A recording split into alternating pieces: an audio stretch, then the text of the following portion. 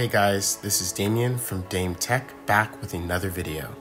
To sum it up briefly, if you own any of the iPhone 12 series or current iPad Pro 2020 variants, then updating to iOS 14.4 is crucial as it pertains to those looking for performance improvements.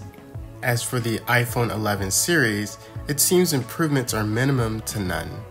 I'll definitely be addressing this in the later part of this video. Quick disclaimer, these results that you will see aren't just from one test, but multiple. I use the average of all tests to provide more realistic results and data. Now let's get started with the iPad Pro 2020 variant GPU scores. GPU meaning Graphics Processing Unit. Straight off the cuff, if you look at the GPU results for the iPad Pro, there is nothing different as it pertains to peak performance with both iOS 14.3 and iOS 14.4. However, which is quite noticeable, is the improvements in the lowest loop score and stability. What does this mean? Basically, for those using the iPad Pro for long duration gaming, heavy content creation, or video rendering, you're going to notice a good improvement in sustained GPU performance when updating to iOS 14.4. Personally, in my opinion, sustained GPU performance is more crucial than peak, as peak is only temporary when doing heavy graphical tasks. iOS 14.4 is bringing great improvements to the iPad Pro's GPU. Now, as for CPU, meaning Central Processing Unit, the improvements are very minimum. With iOS 14.4, there won't be much improvements in CPU related tasks as it pertains to the iPad Pro 2020 variant. Now for the iPhone 12 Pro Max, as we look at the GPU scores, just like the iPad Pro, there's little to none improvements in peak performance.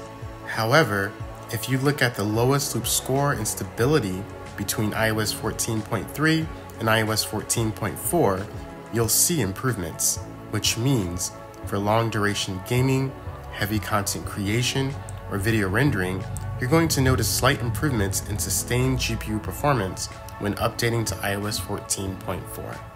Again, this is great news for the iPhone 12 users. Apple is continually improving and optimizing the power of the A14 Bionic chipset. If you remember, with iOS 14.2, the highest loop score was in the 6K range, while the lowest loop score was in the low 5K range. Thus, with every update, it seems the A14 Bionic chip gets more powerful in GPU performance. iOS 14.4 is bringing the A14 Bionic chip to greater GPU levels. Now, as for CPU, similar to the iPad Pro, there seems to be no improvements with iOS 14.4. Therefore, don't expect any difference in CPU related tasks with the iPhone 12 series.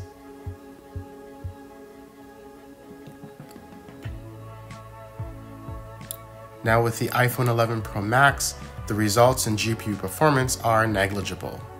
There isn't really a change in peak performance or sustained performance between both iOS 14.3 and iOS 14.4. The same applies for CPU performance. Again, looking at these result averages, there seems to be no improvement with iOS 14.4 and iOS 14.3. Therefore, those iPhone 11 users looking for faster performance with iOS 14.4, sadly, with this update, there seems to be no changes. However, even with this being said, performance isn't the only variable of this update. There are also many additional new OS features embedded in the iOS 14.4 update. Thus, updating to iOS 14.4 will still introduce some notable new bug fixes and feature tweaks. With all of this being said, I hope this video was very informative and useful for those on the fence on whether to upgrade to iOS 14.4. If you like this type of content, please let me know in the comments, leave a like, and subscribe. Stay tuned for more future testing and tech informational videos. Please stay safe and see you next time.